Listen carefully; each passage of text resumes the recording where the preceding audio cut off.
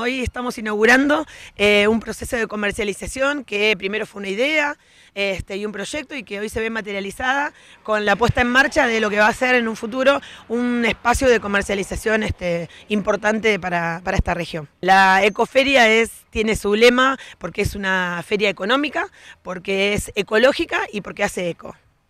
rebota. Vos sabés que nosotros tenemos carreras este, técnicas que eh, apuntan a la producción. Y hay una cuestión que mm, tenemos que eh, poner en, valor eh, lo que tiene el instituto y lo que produce el Instituto 89, que es no solamente certificar, sino generar espacios de desarrollo local. Entonces, eh, la, posibilidad de un espacio de comercialización para nosotros es importante porque no solamente se visibiliza el trabajo del instituto, sino que también produce un espacio en donde los chicos puedan comercializar los productos. La verdad que está, está muy bueno, eh, como decía Vivi, venimos pensando el desarrollo de este espacio siempre en un enfoque regional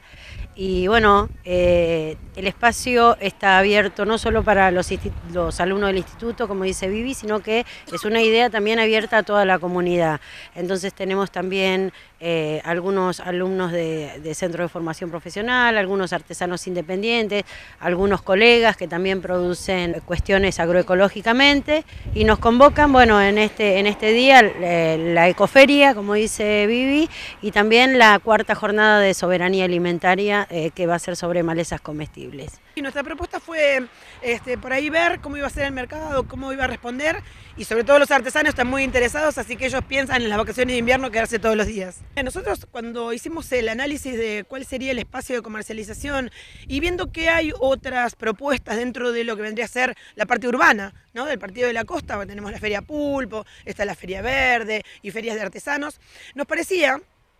que en el corredor de, la ruta había toda una potencialidad respecto de la comercialización que teníamos que fortalecer en virtud de que habíamos leído porcentajes de turistas que pasan por lo, eh, pronto en el verano y están entre 7 y 6 millones de personas por, temporada. Entonces, eh, me parece a mí y nos pareció a todo el grupo que sería interesante hacer un desarrollo de una comercialización en un lugar donde pudieran tener acceso no solamente la gente del pueblo, sino también la gente que, que cruza la ruta que va a cualquiera de los balnearios. Y si no nos pensamos como región, este, nos vamos a achicar y la idea es que esto crezca, que sea realmente una, un desarrollo local visible, sostenible, que, que nos veamos no solamente como partido, sino como región y a partir de ahí poder potencializar todo lo que tenemos, que, que es bastante diverso.